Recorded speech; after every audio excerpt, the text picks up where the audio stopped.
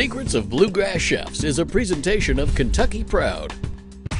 This time on Secrets of Bluegrass Chefs, authentic flavors from around the world that turn out to be rooted right here in Kentucky. As much local ingredients we, that we can. The fresh vegetables. We'll go into the kitchen at Vincenzo's in Louisville, where a pair of brothers from Palermo are doing Italian like no one else. Delicioso. and Tim Laird takes a trip to the south of France without ever leaving the bluegrass. Escargot, French onion soup, we're doing all the favorites. And we're revealing the secrets so you can turn your kitchen into a European bistro. All of that and flowers turn into food in downtown Lexington right now on Secrets of Bluegrass Chefs. Oh my gosh. We're excited to be with you again on Secrets for a culinary tour across the bluegrass. I'm Kevin Harned. This time, we'll visit a destination in Lexington that's rich with local flavor and some pretty unique menu options. We'll get the secrets to stuffed squash blossoms at Distilled coming up. And in Louisville, I'll go into the kitchen at an iconic Italian restaurant, Vincenzo's, for the secrets to making ravioli from scratch. But we'll begin with some authentic French cooking with my broadcast partner, Tim Laird. Tim? You won't find a more authentic French experience than this.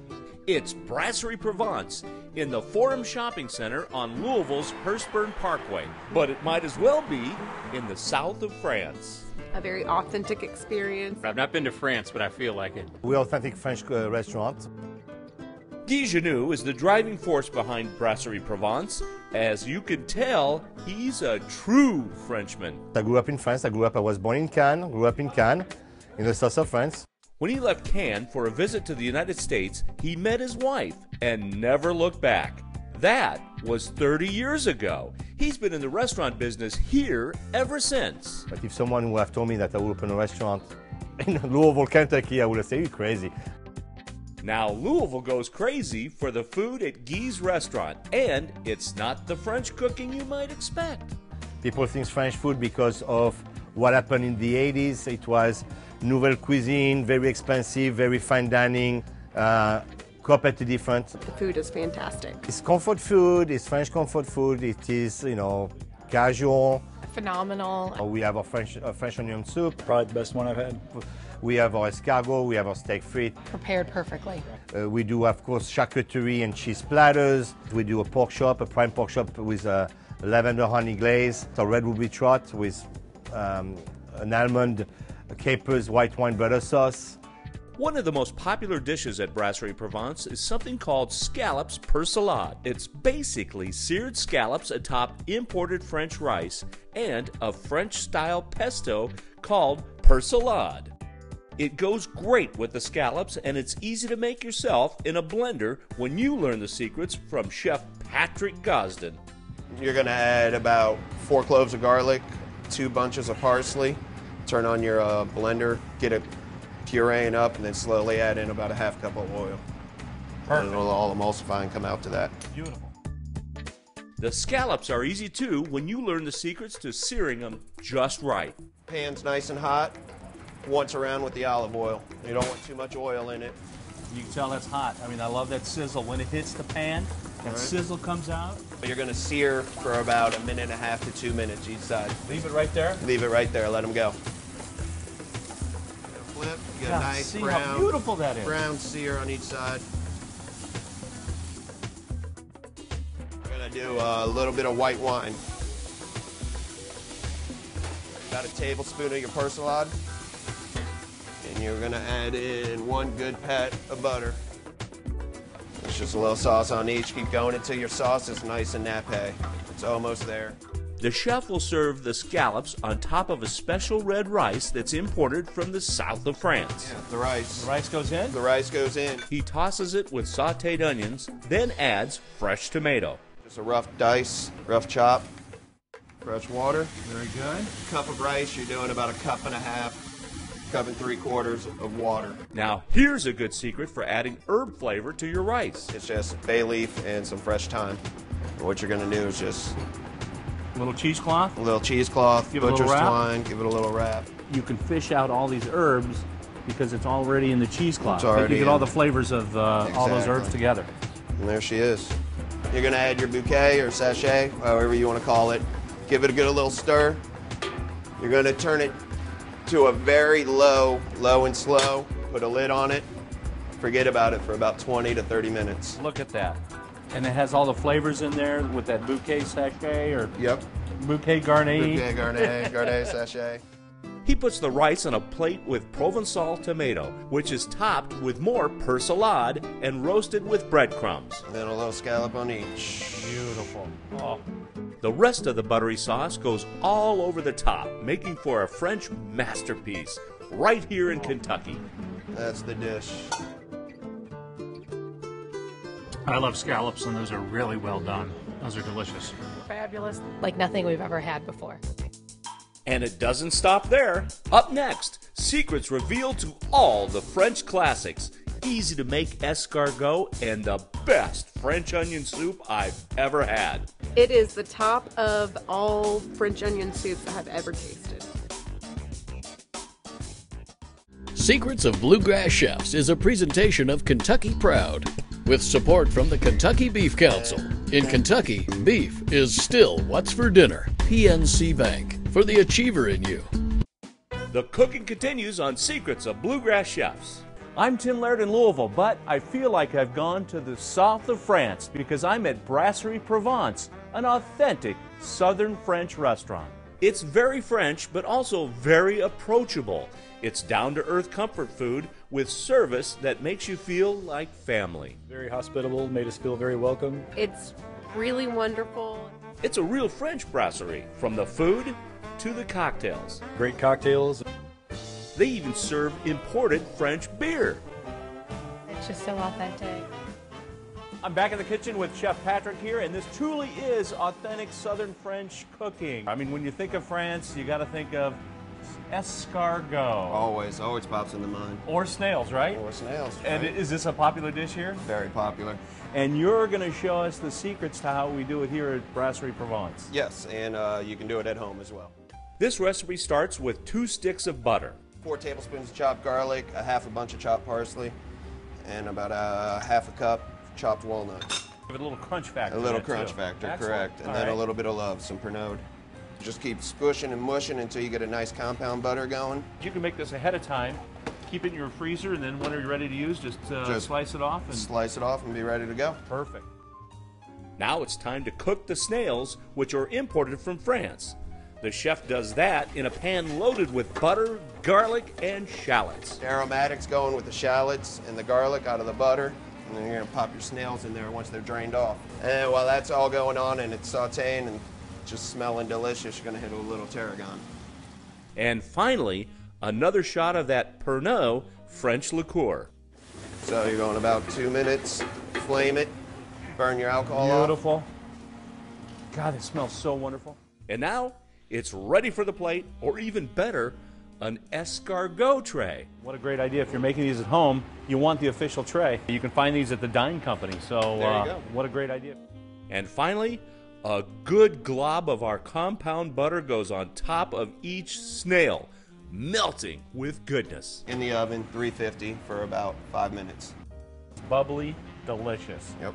First time escargot taster. Uh, didn't know what to think, but it's delicious. It was really good. The butter clearly puts it over the over the top. Totally great.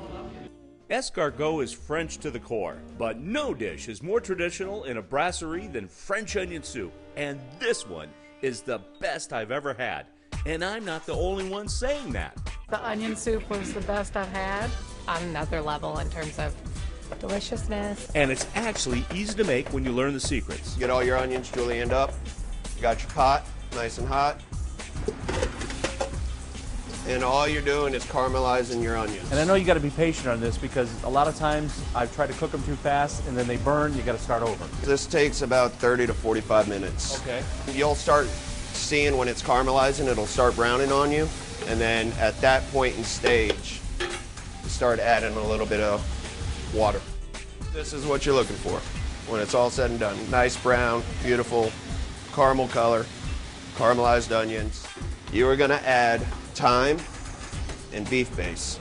You're gonna deglaze it with about a cup of sherry. A little cooking sherry goes in. All right, sherry gives you the nuttiness, the nutty flavor. And then in goes about a half gallon of water. Bring it up to a boil, and then you turn it to a simmer and you let it go for another 45 minutes at a simmer. Wow. So that way all those concentration of flavors will work its way into the water. Yep. Beautiful. And that's your soup when it's all said and done. But it wouldn't be complete without my favorite part the crouton on top and a load of extra gooey cheese. Slice of cheese, Gruyere, and a little bit of mozzarella. Just And shaved, topped with mozz. shaved mozz. Wow. Put that under your broiler for a few minutes until it's all melted and ready to eat. Wow. there it is. There it is. I've had many bowls of French onion soup before, but uh, probably the best one I've had. Talk about that gooey, wonderful flavor. Very French. Incredible. Phenomenal. I've traveled over uh, to France quite a bit, Right. and your soup beats theirs any day. I'm Oh, telling you, thank much you. better than they do in France. I, I will attest to that. Well, if that doesn't make you hungry, got my mouth watering. Thanks, Tim. We'll check back in with you coming up. Plus, I'll go into the kitchen for authentic Italian cooking with a chef who's been doing it for 50 years. His secrets revealed still ahead on Secrets of Bluegrass Chefs. Secrets of Bluegrass Chefs is a presentation of Kentucky Proud with support from the Kentucky Beef Council. In Kentucky, beef is still what's for dinner. PNC Bank for the achiever in you. Nicely done, beef. You might be the only meat with a knife named after you. A protein like no other. Beef, it's what's for dinner. Hi, everybody. I'm Kevin Harned, and welcome back to the show that takes you out to eat into the kitchens where the secrets are revealed from Kentucky's best chefs. Right now, we have a backstage pass to what's perhaps the most iconic Italian restaurant in the state. A restaurant that's hosted a long list of celebrities, from Frank Sinatra to Hillary Clinton. It's Vincenzo's in downtown Louisville, run by brothers Vincenzo and Agostino Gabriele, a pair who's helped shape the city's culinary scene for more than four decades. And they still do Italian just like their mom did. My mom was uh, a wonderful, wonderful cook. She never had anything in the refrigerator. She will go to market every day. Every morning, she will go to market and try to find the freshest ingredients available. Fresh is the only kind of cooking Agostino has ever known. And anytime you use the fresh ingredients and the best ingredients, you only can come out with the great food. We use the fresh lobster right here. You know, I took off the shell like this. He cuts up the lobster So this the lobster, along with some shiitake mushrooms just like this. and some morels. He'll add all of that to a hot saute pan with olive oil, shallots, and garlic. Another secret to this is fresh herbs. Agostino chops up some dill and adds that to the pan too, along with some dry sherry. We're going to deglaze with the sherry. Go with this. This is a mascarpone cheese. We're to put a little romano for the flavor. Okay, this is, here, once we reach this point, it's ready. Okay, here, you try to place the stuffing right in the middle of the dough.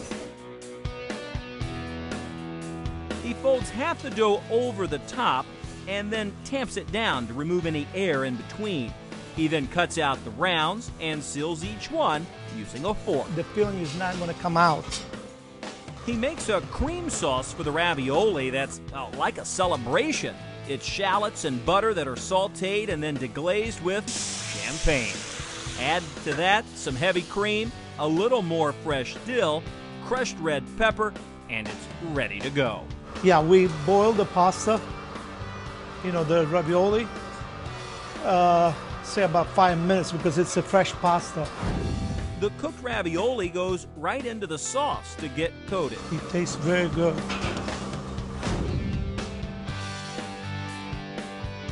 We're gonna garnish with uh, fresh zucchini, saute fresh zucchini, and some uh, grape tomato to give a little color to the dish.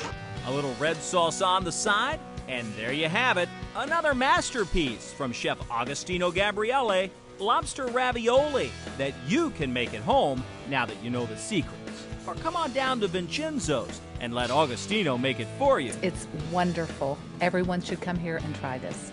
It's great. It was wonderful, and I'll definitely come back for more. We're coming back for more, too. Up next, Tim Laird takes us to Lexington for fine dining, Kentucky style, at Distilled. Stay with us for more secrets of bluegrass chefs.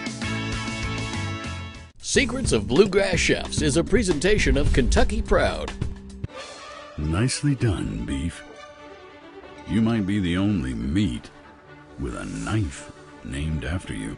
A protein like no other. Beef, it's what's for dinner. Our culinary tour of the bluegrass continues on Secrets. Next stop, Lexington, at a restaurant that takes fine dining, Kentucky style, to a whole new level. Tim Laird is at Distilled. There's no better place to taste Kentucky's finest, whether it be food or cocktails. Lots of bourbon. We have about uh, 70 different types of bourbon here. The food is fantastic, and there's something for everyone. Everything on the menu is, is, is really, really good. We're really proud of everything on there. You'll find the old classics. Our uh, filet at dinner time, people love. There's creative contemporary cuisine too. A squash blossom stuffed with goat cheese is awesome. There's nothing quite like eating a flower stuffed with cheese. And when squash blossoms are in season, you can do this yourself when you learn the secrets. So first, uh, we're gonna just cut this off. This just basically makes it a little bit easier to open up the uh, the petals and get inside. You can tell how fresh that is. I mean, that is fresh. Oh, yeah. There's no wilting, no brown. This Well, is. these actually have to be really fresh because they, they wilt so quick. Yeah. Um, generally, like the lifespan is a couple days, and they're pretty much shot. Uh, we have some goat cheese here that I took out about an hour ago to kind of warm up, so it's pliable, so that we can pipe it inside the squash blossom. And I like the secret of pulling out the goat cheese because otherwise it's hard to work with. Oh yeah, you would never be able to pipe it in here if it wasn't. It's like cement almost. If you Oh, don't, if Yes, you don't let it warm it up would a little bit. never work.